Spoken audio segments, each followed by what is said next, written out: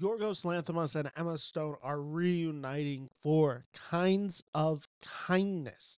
Uh, this is them reteaming quite literally right after Emma Stone won an Oscar uh, for her film Poor Things. It is the director and the actress coming back together. I believe Jesse Plemons, I believe Willem Dafoe uh, are also in this cast. This is coming out to theaters June 21st. It's so cool to see these uh, true talented people reuniting and working together and uh, doing this together. It just kind of shows their partnership and how well they work together. And I do really believe Yorgos brings out the best in Emma. So the kinds of kindness official teaser dropped today. It's being released by Searchlight, and I figured let's do a trailer reaction. This one's gonna be a quick one because it's only 46 seconds. So we're gonna start this trailer in three, two, one, play.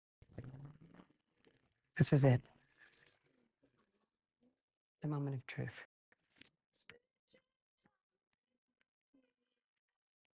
Like the song a lot. Oh, so what I'm noticing is this is not a period pill, uh, film, which is fairly typical. Obviously, favorite and poor things are, if not exactly period uh, film. Oh, I like Margaret Qualley a lot. A lot of really talented actors in here.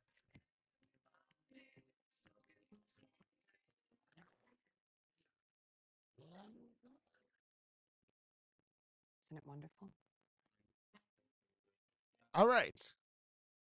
So let's just kind of read what this description is. Kinds of Kindness is a uh, trippy fable following a man without choice who tries to take control of his own life. A policeman who is alarmed that his wife was missing at sea has returned and seems a different person, and a woman determined to find specific someone with special ability who is destined to become a uh, prodigious spiritual leader.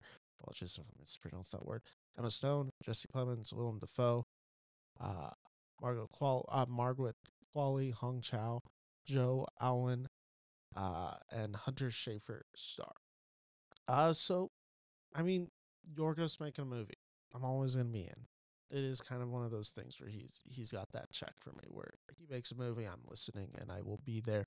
Uh, here's some details that I've heard about this movie. From my understanding, this is an anthology film, uh, kind of broken up into parts. I don't know if this is necessarily one whole cohesive movie. I don't know if this is more like French Dispatch, where it's like five stories that are all singular and then they all kind of the characters all come together at the very end or if it's actually like quite literally four or five short films within one two hour period i'm not exactly positive what uh, about this uh, i've heard people aren't really I, i've heard the studio isn't really looking at this as an oscar player more of a this film is going to be something that Yorgos wanted to do. He had these stories in him. He got this cast together, and Searchlight was like, "Well, you just made Poor Things a hundred million dollar movie, so yeah, we'll we'll allow you to do that."